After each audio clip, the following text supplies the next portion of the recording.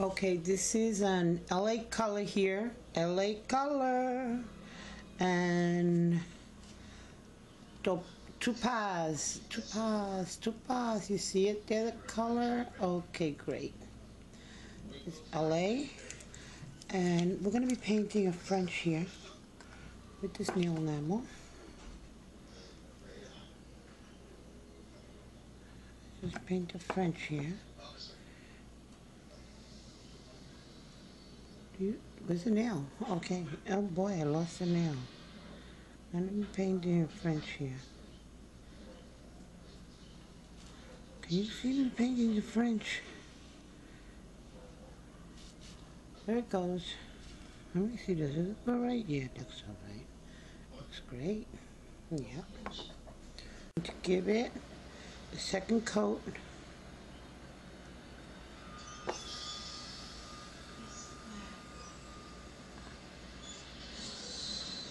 The French. There we go.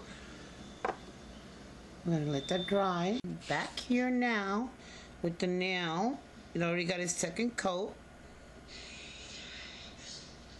of, and I'm giving it here with the striper brush and a burgundy.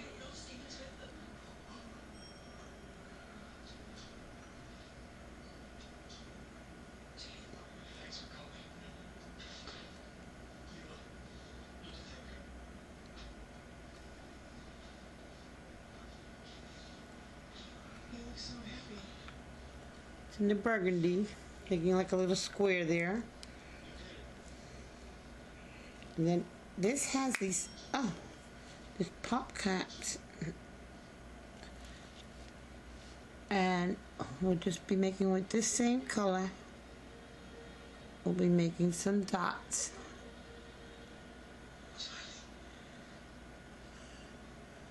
Three little dots here in burgundy.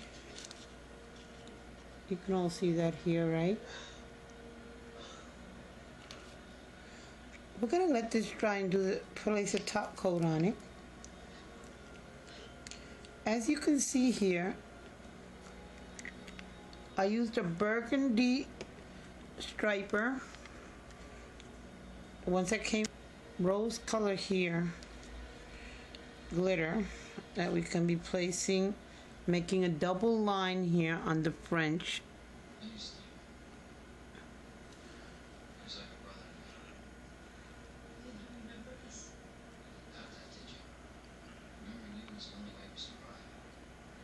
And we can take the same glitter and fill in here. Oops, we filled in there.